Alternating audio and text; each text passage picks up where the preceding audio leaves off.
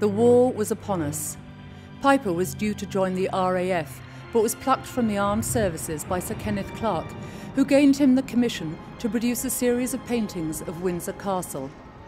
It was during this period he developed a rapid and highly personal notation for topography.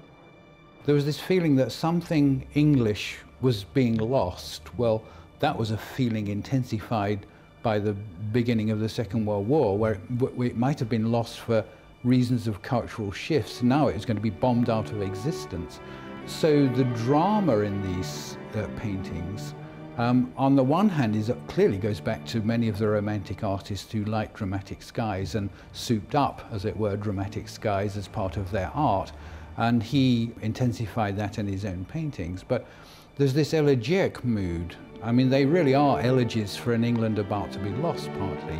And it's easy perhaps to forget the feeling of loss or potential loss that they were exemplifying at that time. He showed the pictures to George VI, and he looked at them, and the, the king was supposed to have said, Oh, you didn't have very good luck with the weather. but that was because John liked putting in all these. I mean, even if it was a nice day, he would put a, a sort of thundercloud in the, in the sky.